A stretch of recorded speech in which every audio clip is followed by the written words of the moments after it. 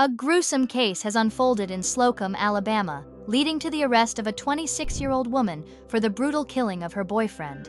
The discovery of a dismembered body on Tuesday, August 27th, set in motion an investigation into a gut wrenching domestic violence and child welfare case. The victim, identified as 41 year old Benito Morales Guzman, was found dead at his residence after failing to show up for work. Concerned by his unexplained absence, Guzman's co-worker contacted the Geneva County Sheriff's Office, prompting authorities to visit the home. Upon arrival, law enforcement officers were immediately struck by an overpowering odor of decomposition emanating from a car parked on the property.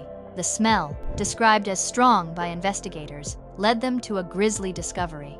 Inside the vehicle, several garbage bags contained the dismembered and decapitated remains of Guzman. The Geneva County coroner later confirmed the victim's identity, noting that the body was completely dismembered and mutilated into multiple pieces. Alongside the remains, authorities uncovered an electric chainsaw still bearing traces of human flesh. Knives and cleaning supplies were also present, suggesting a methodical attempt to conceal the gruesome act.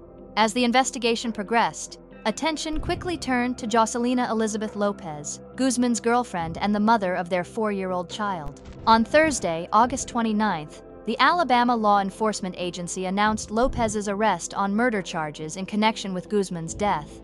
Prosecutors and investigators revealed their suspicions that the couple's young child, who has autism and unspecified disabilities, may have been present during the alleged killing. Lopez made a court appearance where she claimed to have acted in self defense. However, the judge, weighing the severity of the charges and the evidence presented, denied her bond. As of the latest reports, it remains unclear whether Lopez has entered a formal plea or retained legal representation.